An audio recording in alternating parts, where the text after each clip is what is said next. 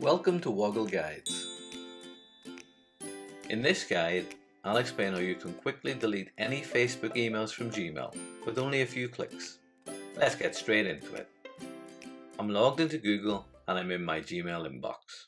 To delete all the Facebook emails in Gmail, the first job is to find all of the emails I've received. I can quickly do this by moving my mouse to the search box at the top of the Gmail inbox.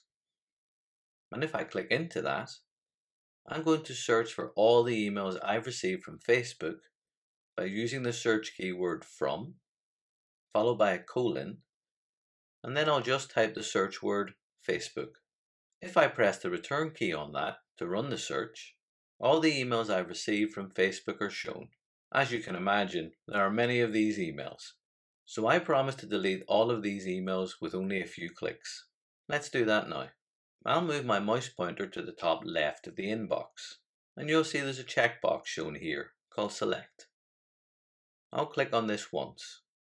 All the emails on this page are then selected. But I don't want to delete just the emails on this page.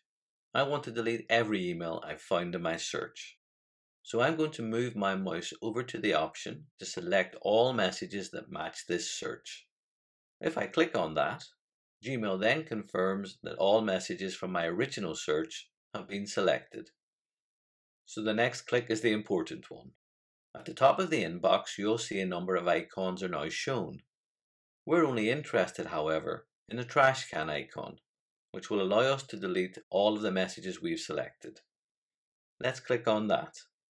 A pop-up window then appears that asks you to confirm that you want to proceed with a bulk delete option. Whenever you do anything in Gmail where you're affecting a large number of emails, Gmail will refer to this as a bulk action. To delete all the emails you've selected, click on the large blue OK button. Depending on how many emails you've selected, Gmail may take a little while to work through that bulk activity. A confirmation message will appear to confirm that all the chosen email conversations have been moved to the bin or delete folder in Gmail.